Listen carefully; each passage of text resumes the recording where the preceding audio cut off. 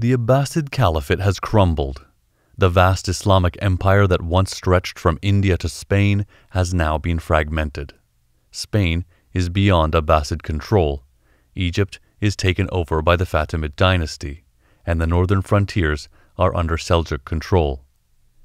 Even part of the Levant and the Holy Land are now lost to the Christian Crusader forces. The unification of all the Muslims under one banner is now a dream long gone. But still today we talk about this era with great interest, as one of the most important turn of events in history. The influence of this era still shapes the idea of chivalry and glory in popular culture. Films are made, books are written, comics and games are created. From children to adults, people still reminisce about those days. Even after almost 800 years, the legends of this era influence the geopolitics of the Middle East. And all these are mostly because of the work of one single man, Salahuddin, the righteous. He was the last great sultan of the Abbasid Caliphate. More than that, he was the last sultan who had a dream and dared to make it a reality the dream of a unified Islamic force, the dream of reinstating the legacy and honor of the Caliphate, the dream of a free Jerusalem, free from the Crusaders. Yet Salahuddin did not have one swift victory after another, like any other great conqueror. He tried, he failed, he persisted, and learnt from his mistakes and came back stronger. He was bold, dutiful, and intelligent, yet his reign was filled with setbacks, treachery, and disappointments. That is why Salahuddin is so beloved. He is not like a hero from ancient mythology with superpowers. Rather, he is more of a human, flesh and bone. He is a hero not because he was the chosen one, rather because he was courageous enough to be one. He chose himself to become the one. As we dive into his life in the next couple of weeks, we will see how this hero was forged in hardship and courage. In the year 1149, a young boy of ten named Yusuf ibn Ayyub was playing in the yard of his home. Suddenly, he heard a call from the minaret of the mosque.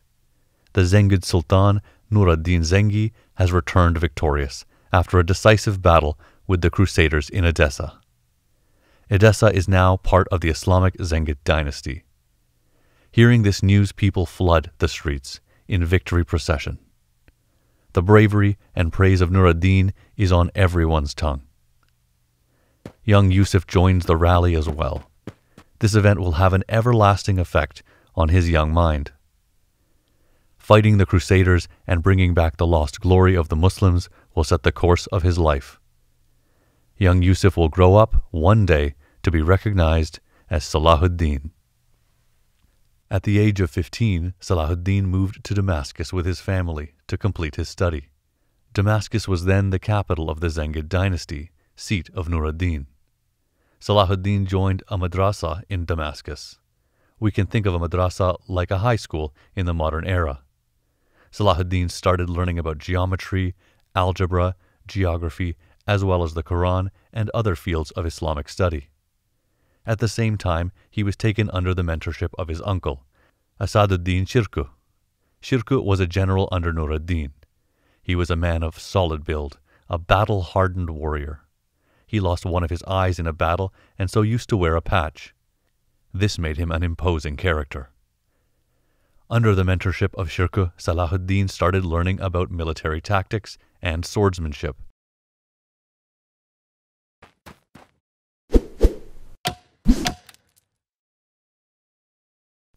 After completing the training, Salahuddin joined Shirkuh's battalion and entered regular military service in the Zengid army. The time has come for Salahuddin to be of service to his childhood hero, Nur ad-Din. Meanwhile, in Egypt, a power struggle has erupted between two viziers of the Fatimid Caliphate. The Fatimids were a Shia dynasty and the Abbasids were Sunni. Sunni and Shia are the major two denominations of Islam. Historically, the two dynasties are rivals of one another. Anyway, back to Egypt. The two viziers trying to capture the de facto rule of Egypt were Sharwan and Dirgham. Sharwan was driven out of Egypt by his rival Dirgham. Sharwan asked for help from Nur ad-Din. So, in 1163, Nur ad-Din sent in an army under the command of Shirkuh to Egypt. Salahuddin also joined the army under his uncle's command. Salahuddin did not play any major role at this point, but the events that are about to unfold will be his first real lesson in military tactics and politics. So, we'll look into these events to understand how the stage was set for Salahuddin. With the help of Shirkuh's military prowess, Sharwan was reinstated as the Grand Vizier of Egypt. Shirkuh garrisoned his army near Cairo to support Sharwan's rule, but as time passed, the presence of a Sunni army in the heartland of the Shia dynasty started creating political friction in the Fatimid court.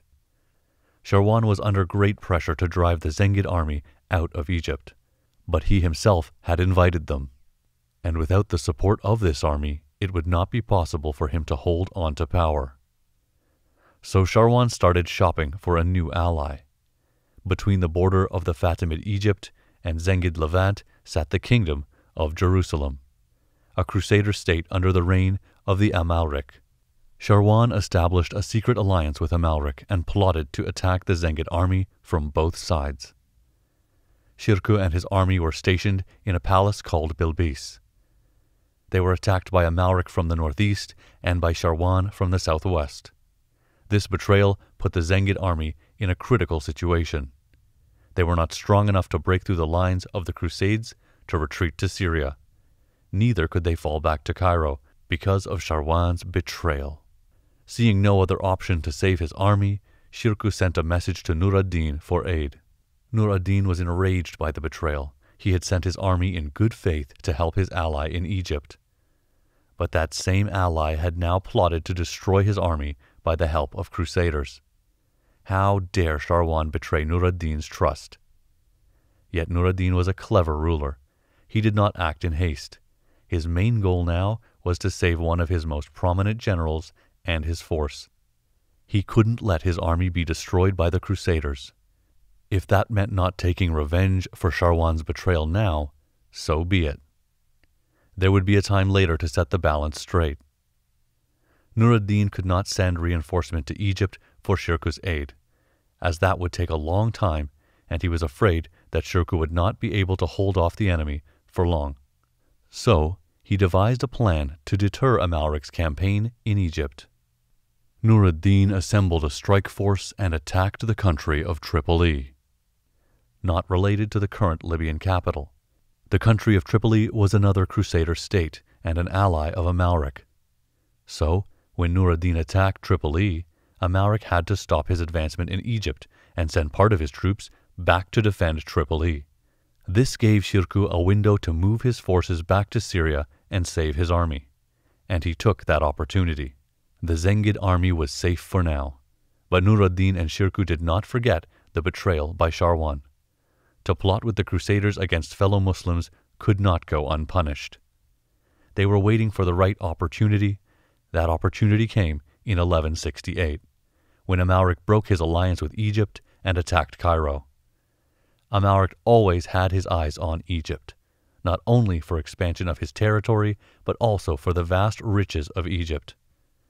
The weak rule of Sharwan gave him the perfect chance to attack. Amalric assembled his naval force and sailed toward Cairo through the Nile Delta. Egypt was too weak to defend itself under Sharwan's rule.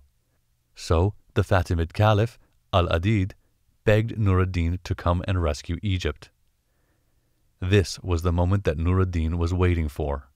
All these years of waiting in patience for the sweet taste of revenge had finally paid off.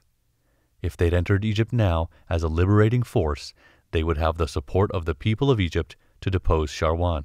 And as a bonus, they would also be able to defeat the Crusaders in yet another battle. So, the Zengids under the command of Shirkuh marched into Egypt. Salahuddin joined the expedition as well, this time as the commander of a battalion of the army. The Zengids and the Crusaders came face to face at a place called Al Babain, west of Giza near the desert border of the Nile. The Zengids chose this location intentionally for a strategic advantage which would become obvious later during the battle. For the time being, Salahuddin took control of the right wing of the army, and Shirkuh took the central command. The Crusader army was greater in number and stronger in arms than the Zengids, so Shirkuh and Salahuddin started discussing a battle strategy to make those advantages of the Crusaders ineffective. They came up with a clever plan. Salahuddin would impersonate the central commander of the army and pretend his soldiers were the central contingent. Shirkuh did not station all of his troops in the battlefield and hid part of them behind the dunes in the desert. As the Crusaders did not realize the plan, they charged with full might toward the Zengid central force. This was the moment Salahuddin had been preparing for all of his military life. If he couldn't defeat the enemy with sheer strength, he would do it through strategy. As planned, Salahuddin staged a feigned retreat. He commanded his army to fall back into the desert. The Crusaders chased Salahuddin and fell right into his trap. The heavy cavalry of the Crusaders lost their advantage in the steep and sandy terrain. They could not move quickly, whereas the lighter Zengid cavalry could move much faster on the same terrain. So the early advantage of the Crusaders was lost. Their lines broke down, and the battle was fragmented into smaller skirmishes, rather than a concentrated central attack. Shirkuh was waiting for the exact moment. He took his reserve force and returned to the offensive, and at the same time Salahuddin turned back with his force and launched a counterattack from the other side. Stuck between the dual offenses, the Crusader army was completely crushed. This was the first sign of Salah ad-Din's military genius, his first taste of victory against the Crusaders. From now on, Salah ad-Din is no more a bystander. He now has an active role to play. The young boy, inspired by the tales of defeating the Crusaders, is now capable of defeating the Crusaders on his own. Join us next time as we explore the early years of Salahuddin's administrative and military career, how he becomes the Grand Vizier, protects Egypt from yet another Crusader attack, strengthens the nation, and eventually becomes the Sultan of Egypt. Salahuddin Part 2 Shifting Tides. The main streets of Cairo people are gathered on both sides to celebrate the victory of the Muslims against the Crusaders. The victorious Zengid army is marching toward the royal palace of the Fatimid Caliph. People are screaming with joy and showering the soldiers with flowers. At the head of the marching army is the general Shirkuh, and just behind him rides Salahuddin, the young hero, head held high with pride and honor. But little does he know what is about to unfold in the coming months. Once Shirkuh and his commanders reached the Fatimid court, the Caliph, Al-Adid, greeted them with great joy and generosity. He offered Shirkuh the role of the Grand Vizier of Egypt. Shirkuh took this offer without hesitation, but he hasn't forgotten about the betrayal of Shawar. And he knew perfectly well that if he lets Shawar free, he will plot to strike back again. So Shirkuh's first command was to arrest Shawar and execute him. It was also a warning to everyone. Anyone who dares to side with the Crusaders will only meet one end death. Shirkuh was a man who enjoyed food and frequently arranged lavish feasts for his guests. On one such occasion, after feasting on a large meal, Shirkuh fell ill. The illness soon proved to be fatal. Shirkuh died only two months after he became the vizier. Salahuddin lost his beloved uncle and trusted mentor. Now he had to stand on his own without Shirkuh's support and guidance. As Salahuddin mourned the death of his uncle, Shirkuh, the leaders or emirs of different factions and military groups from both the Fatimid side and the Zengid side started arguing about who would be the next vizier of Egypt. The Fatimids wanted a weak vizier so that he could not gather much political influence. Electing a strong Sunni vizier wouldn't show particular strength of the Shia Caliphate whereas the Zengids pushed for a strong leader as the vizier, so that they can have a solid influence on the Fatimid Caliphate and its inner politics. The arguments went on for days. Then, one day, a messenger arrived at the court. He brought a letter from Nur ad-Din. In that letter, Nur ad-Din recommended Salahuddin as Shirkuh's successor and requested Caliph al-Adid to appoint Salahuddin as the vizier. After all, Salahuddin's family had been of great service for many years to both Nur ad-Din and Al-Adid. The Fatimid emirs supported this nomination as they thought Salahuddin was young and inexperienced. They thought he would easily fall in the role of vizier. On the other hand, the Zengid emirs saw Salahuddin's leadership on the battlefield and believed they could put trust in his abilities, so they agreed to the proposal as well. As a result, Salahuddin became the de facto ruler of Egypt, the Grand Vizier of the Fatimid Caliphate at the age of 30 in early 1169. Salahuddin had never had such power and independence before. But he was still in a tug of war between the Fatimid Caliphate and the Abbasid Caliphate through Nur ad-Din. And as we have discussed before, these two caliphates, one Shia and the other Sunni, were never on friendly terms. So Salahuddin now had the problem of split loyalty. As the vizier, he owed his loyalty to the Fatimid Caliphate in Egypt. At the same time, as the general of Nur ad-Din, he owed his loyalty to the Zengid dynasty and thereby to the Abbasid Caliphate in Baghdad. This actually made it very difficult for Salahuddin to do what he wanted to do help the people, unite the people, and free the Holy Lands from the Crusaders. Soon after his appointment as the vizier, the internal political conflict in Egypt started to weigh heavy on Salahuddin. He tried to focus his mind on rebuilding the Egyptian nation. He commissioned several hospitals and madrasas, which are kind of like universities by modern standards. He started investing in improving infrastructure and defense of major Egyptian cities. One evening, Salahuddin was busy in his study thinking about his plan for the nation when there was a sudden knock on the door, followed by several loud knocks. Salahuddin ordered the person to come in. It was Ali bin Sufyan, the chief of his bodyguards. He brought grave news. Some emirs of Egypt had decided to stage a revolt and assassinate Salahuddin in the dark of the night. Salahuddin suspected that he would not have the full support of the emirs of Egypt, who did not like a Sunni vizier under the Shia Fatimid Caliphate, but he never expected that they would plot to kill him. Salahuddin was saddened. He had just started a few months ago. What had he done to deserve such treachery? But he had to control his emotions. He had to act fast before the rebels could strike first he ordered his own bodyguards to capture the main conspirator, a high official for the Fatimid palace. He was immediately arrested and executed. Yet it was not sufficient to completely stop the rebellion. The following day, several other Fatimid emirs with almost 50,000 soldiers started a revolt in different parts of Egypt. Salahuddin now had a civil war on his hands. As the civil war continued, the number of the wounded and the corpses piled up. After several months of fighting, the rebel emirs started to fall one after another.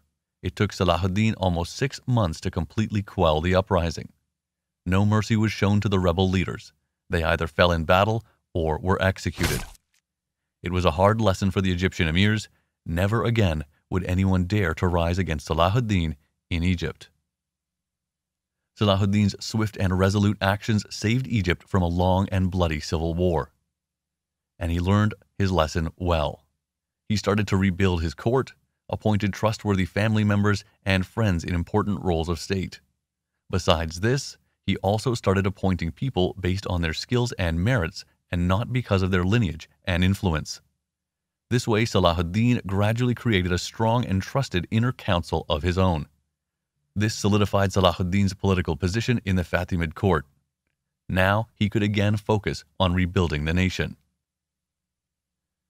Hardly three months had passed in peace, then disaster struck again.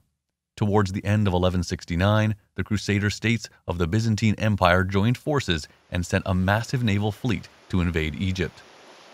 They were approaching fast to attack an Egyptian port city, Damietta.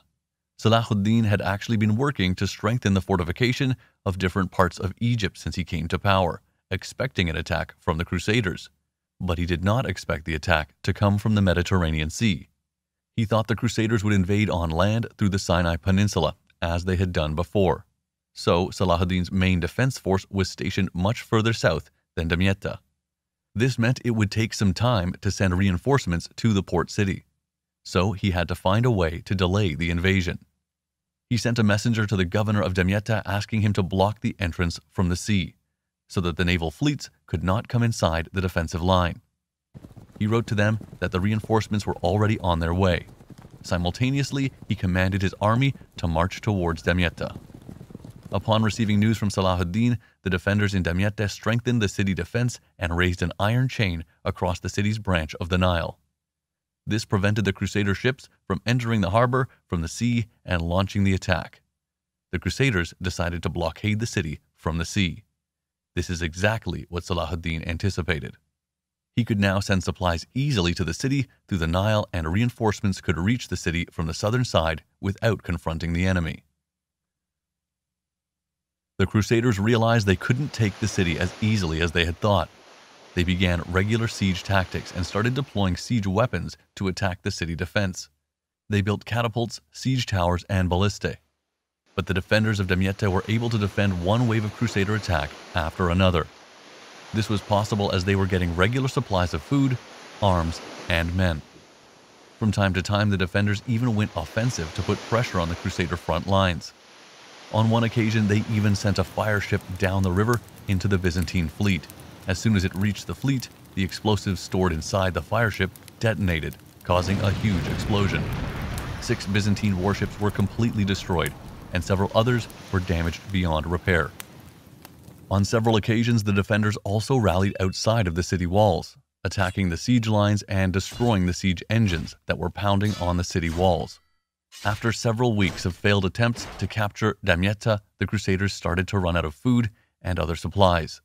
Their plan to launch a swift and surprise attack on Egypt had utterly failed. There would be no way now to continue the invasion without suffering huge casualties. The war would drain their treasury dry, and the riches that they had planned to plunder from Egypt were now out of reach.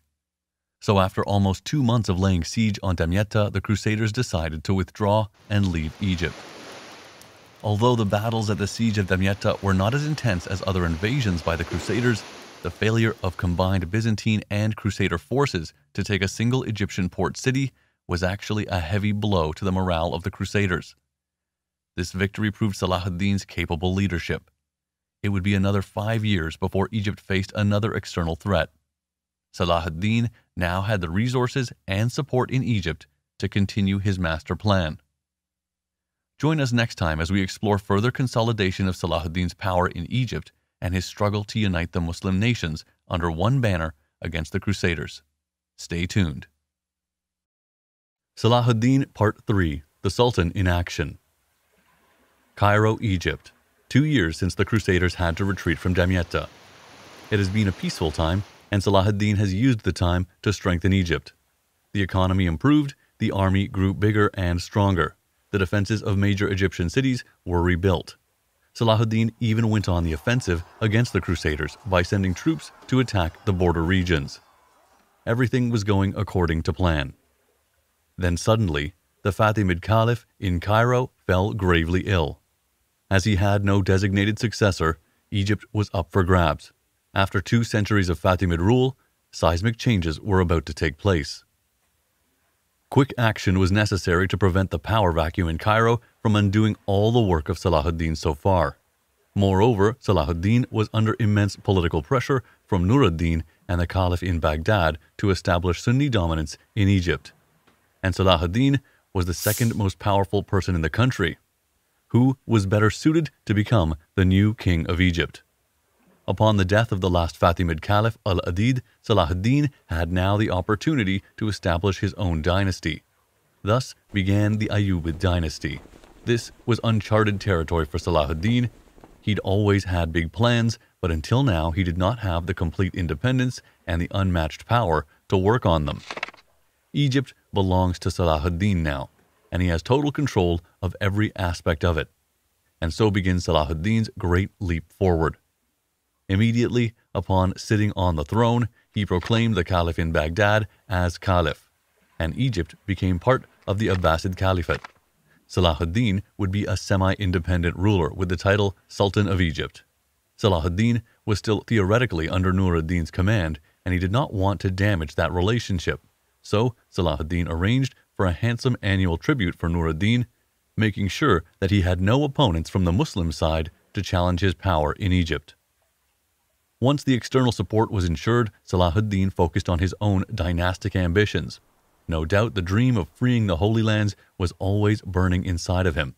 but he understood that he couldn't launch a campaign against the Crusaders unless he established a powerful empire in Egypt first. Salahuddin turned the wheel of change in Egypt. His council revised the tax codes, ensuring further revenue of the state, redistributed the lands, ensuring royalty at local leadership levels, replaced the corrupted provincial officers with skilled officers, ensuring effective administration of the state and less chance of conspiracy against the Ayyubids. Salahuddin showed everyone that when it comes to being a sultan, he had his own way of doing things.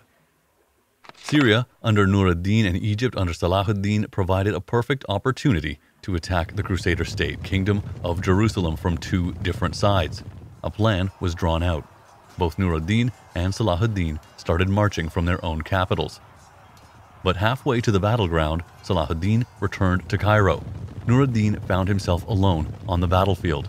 He continued on with the assault, but ultimately the campaign was not successful. Until today, we do not know for sure why Salahuddin turned back.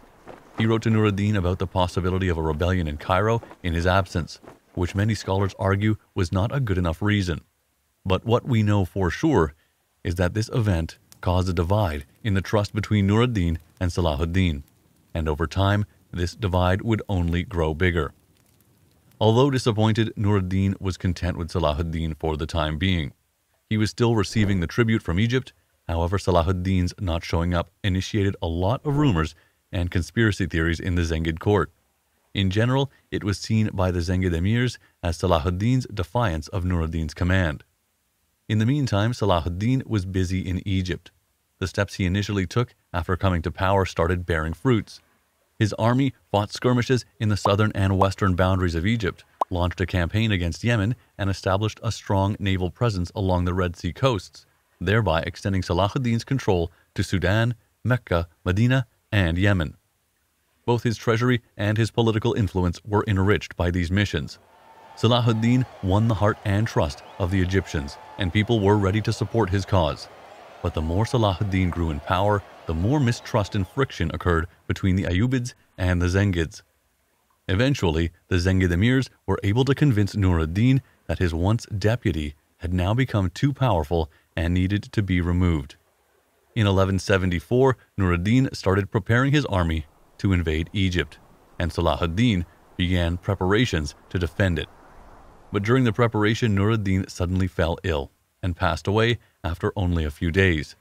Nur ad-Din's successor was his son, Saleh, only 11 years old. The news of Nur ad-Din's death reached Salahuddin. Undoubtedly, the death of his childhood hero and mentor had a massive impact on his state of mind. Although they were not on friendly terms at the time of his death, Salahuddin always had a great respect for Nur ad-Din for his effort to unite the Muslims of Syria against the Crusaders. Yet Salahuddin was relieved to some extent, knowing that the civil war between Syria and Egypt would now be avoided. That night, Salahuddin went to the balcony of his quarters. As he looked towards the horizon beyond the vast expanse of his capital city, all the mixed feelings and thoughts regarding Nur ad-Din's death unfolded in his mind. Not only did this impact his personal feelings, the news had also major political implications. Nur ad-Din's death changed the entire geopolitical dynamic of the region. Surely the young son of Nur ad-Din wouldn't be able to practice the same power his father did. The power vacuum would create infighting among the Zengids. What actions should Salahuddin take now? To drive the Crusaders out of the Holy Lands, the existence of a strong Syria is essential. Without strong fronts in both Egypt and Syria, the ultimate victory against the Crusaders cannot be guaranteed and without Nur ad-Din, Syria does not have that strength any longer. Should Salahuddin launch a campaign against the Crusaders on his own? Perhaps, but if Syria fell into the wrong hands, then the Crusaders could form a new alliance and outmatch Salahuddin's force. Should he then annex Syria first to prevent that? He could, but the values and Islamic teachings that he grew up with prevented him from doing so. He can't wage war against the family of his benefactor without any provocation. That would be hypocrisy for him, making him unsuitable to lead the armies in the Holy Lands according to his own standards of belief. Certainly, Salahuddin was an ambitious man, but his ambition was not more important to him than his principles. He knew in his heart that if he wished to be successful in freeing the Holy Lands from the Crusaders, he had to do it in an honorable way. no political backstabbing and betrayal should be allowed to tarnish his lifelong goal. As the dawn broke and the call for prayer was announced from the minarets of the Grand Mosque of Cairo, Salahuddin could finally make up his mind. He decided to wait and not get involved in the political turmoil in Syria for the time being. His lifelong mission for the Holy Lands was put on pause. A few days later, a messenger reached Damascus with a letter from Salahuddin to As-Saleh. The Sultan of Egypt had promised full support to the young prince and would always come to his aid whenever it was needed. As Salahuddin's letter reached Damascus, another message reached Salahuddin's court in Cairo. Egypt was under attack. A naval fleet of crusaders and Sicilians laid siege on Alexandria, one of the most important cities in Egypt. The attackers had almost 200 warships, 40 transport ships, and more than 1,000 knights. It was a formidable assault. But this time, Salahuddin was much more prepared than on previous occasions. Soldiers and supplies were quickly sent to Alexandria to reinforce the defenders. The initial blow was heavy on the Muslims. All the warships and commercial vessels of the Muslims at the port of Alexandria were destroyed by the Sicilian invaders. But as the reinforcements reached the city, the defenders' morale was boosted. On the second day of the battle, when the invaders brought their siege towers near the wall of Alexandria, the Muslim defenders burst out of the gates in a surprise attack and did their best to hit the enemy's morale. They burnt down the siege towers, ravaged the enemy camps, and took away large amounts of weaponry and treasure. This was a serious blow to the invaders. As the siege dragged on for days, the invaders started to lose strength. They needed reinforcement, but the promised reinforcements never arrived from the Crusader states. That was because King Amalric died suddenly of dysentery in Jerusalem. His kingdom was passed on to his 13 year old son, Baldwin IV, who was suffering from leprosy. This sudden death of Amalric prevented the Crusaders from sending the promised supplies to the battlefield. Ever the diplomat, Salahuddin quickly initiated a truce between him and the new Crusader king, leaving the Sicilians alone to fight in the battle. Simultaneously, Salahuddin started marching towards Alexandria with a huge army. The Sicilians had to accept the defeat. What could have been the biggest threat to Salahuddin's reign actually brought yet another victory through his military and diplomatic prowess. But all the news was not good. Back in Syria, the young prince As-Saleh became a pawn in the fighting among top Zengid leaders.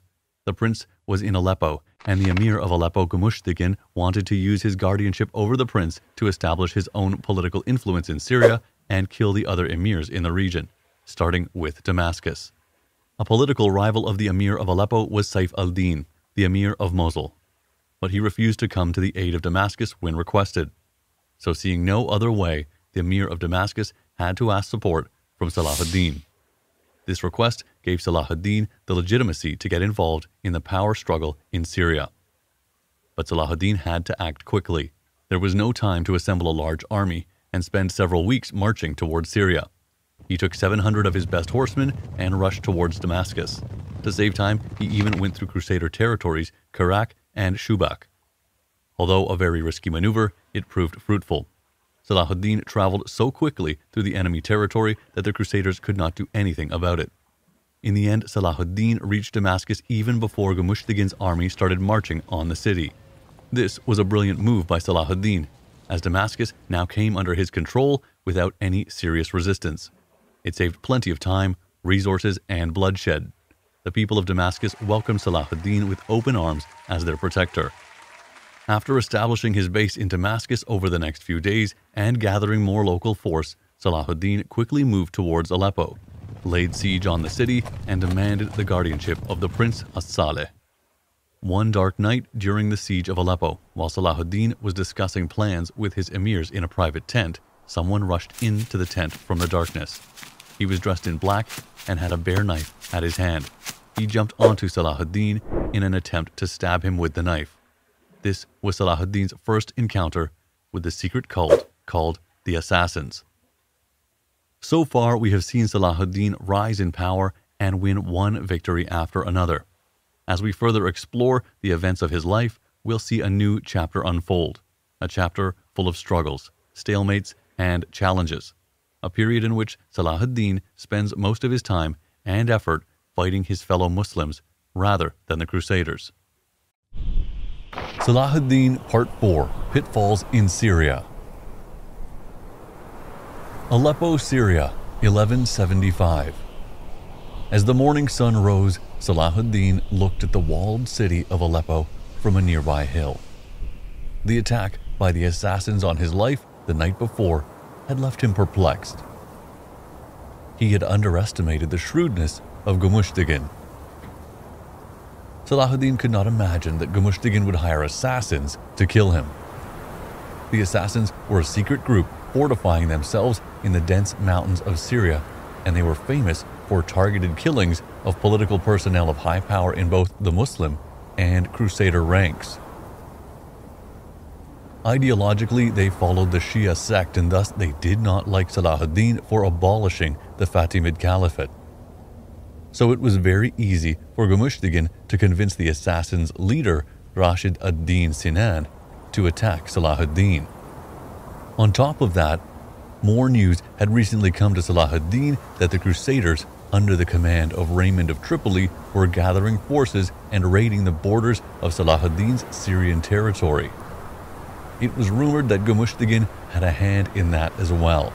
All the pieces of the puzzle were now falling into place. Salahuddin could see how treacherous Gumushtigin had been. He looked at the citadel of Aleppo. He realized how far away he was from gaining total control of Syria.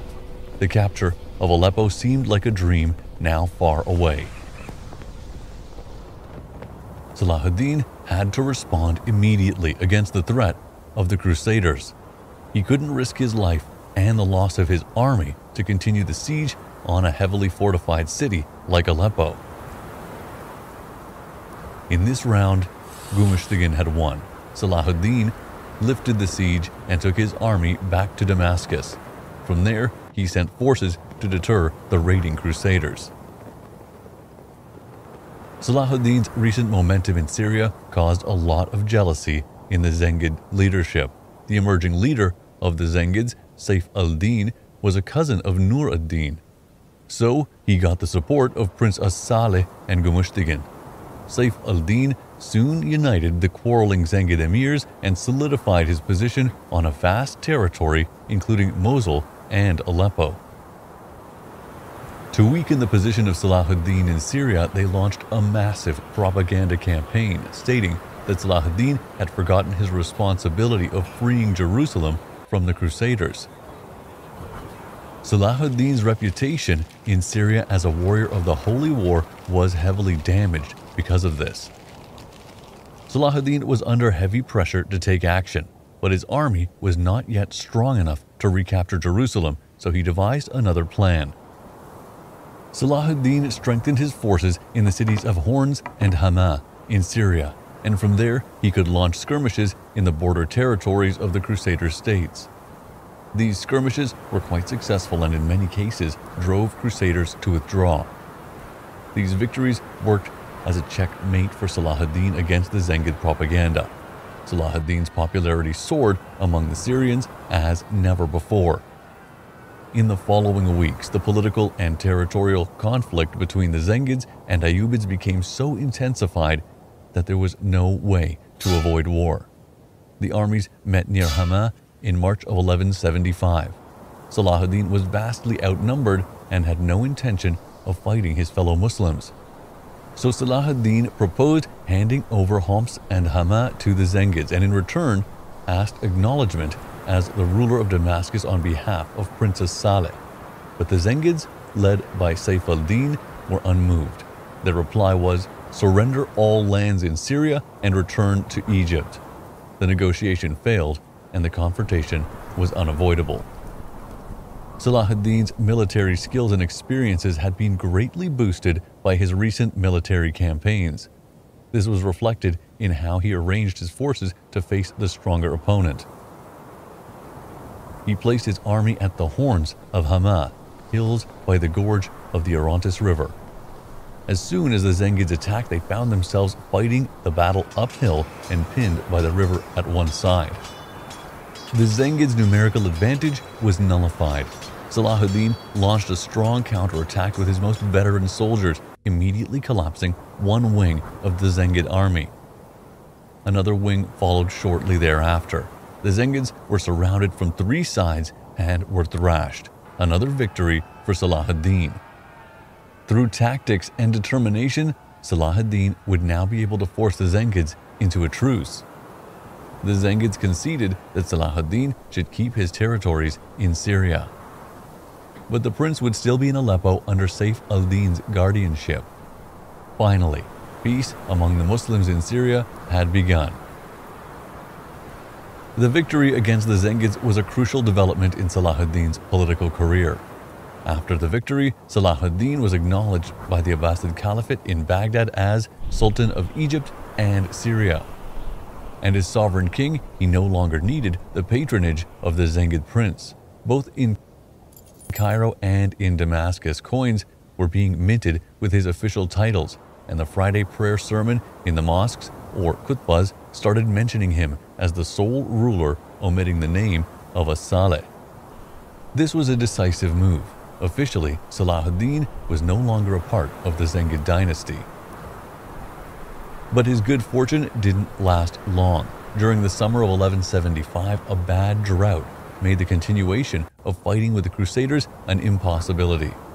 The Crusaders were also hit by the same situation, so they made peace with Salah ad-Din and there was a pause on ongoing conflicts. Salah ad-Din could take a break from military campaigns and focus on the administration of his vast empire that included Egypt, Yemen, Hijaz, consisting of Mecca and Medina, and Syria. Hardly a year had passed, political turmoil returned in Syria. Saif al-Din started looking for trouble in order to fight Salah ad-Din and to gain his territories. So Salah ad-Din gathered his forces and marched northwards from Damascus towards Aleppo. On the way, in a place called Tel al-Sultan, he encountered the army of Saif al-Din. Salah ad-Din's army was exhausted by their march, but the general lack of leadership and military skills amongst the Zengid leaders caused a delay in initiating the fight. This gave the Ayyubid army an unexpected opportunity to rest and regain their strength. When the fighting finally began the following day, battle-hardened Salah ad-Din took full advantage of the incompetence of the Zengid leaders. As soon as the wings of both armies met one another, Salah ad-Din charged forward at the center. The Zengid soldiers became panicked by this surprising maneuver and failed to keep their formation. The Zengids were decimated and Saif al-Din narrowly escaped. The whole Zengid war camp, including horses, armors, arms, and baggage trains, were captured by the Ayyubids. All the captured riches were distributed among the soldiers. Salah ad-Din kept nothing for himself, a custom that Salah ad-Din followed in every battle of his life. Saif al-Din fled to Aleppo. After the battle, Salah ad-Din moved north, capturing more towns in northern Syria from the Zengid command. Eventually, he reached Aleppo region and laid siege to the castle of Azaz, a formidable and strategically important site. One night during the siege, Salah ad-Din was having a discussion with his emirs inside his tent. A man dressed in black suddenly entered the tent and stabbed Salah ad-Din in the head with a knife.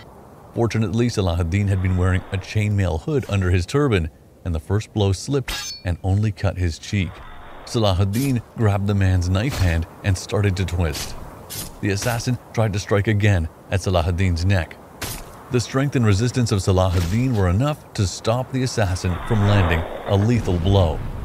Still, the attacker's knife was able to cut through the leather armor on Salah ad-Din's shoulder and inflicted a wound. By this time, the emirs in the tent had fully realized what was going on and came forward to rescue their sultan. The assassin was struck down by them. While all of this was going on, a second and third assassin rushed into the tent and started attacking the emirs, but the chaos and screaming had alerted the guards. They came running and killed the assassins. Salah ad-Din's wounds were not severe, but he was profoundly shaken. He realized how serious of a threat the assassins had become. He immediately took precautions and raised guards around the camp to prevent any intruders from entering unnoticed. After a month of siege, the castle of Azaz fell. Now, Aleppo was completely surrounded. Salah ad-Din didn't want to launch a full-fledged attack and destroy the city. This would cause a lot of bloodshed on both sides, and Salahuddin didn't think it would be wise to prolong the campaign against his fellow Muslims unnecessarily. So when the Zengids in Aleppo offered a truce and proposed more territorial control to Salah ad-Din, he accepted their offer. The whole of northern Syria came under the Ayyubid dynasty except Aleppo. Now came time to settle scores with the assassins. Salah ad-Din launched a campaign into the territories occupied by the assassins. Soon he reached the castle of Masyaf, which belonged to the assassins' leader himself, Rashid ad-Din Sinan. Salahuddin laid siege to the castle. Day after day, Salahuddin sent his army to occupy the castle. Every time, the assassins resisted fiercely. The siege became long and bloody. But Salahuddin was relentless, wanting to see the end of it. So the fight continued. Finally, the assassins gave up and offered to make peace. Salahuddin now had two choices.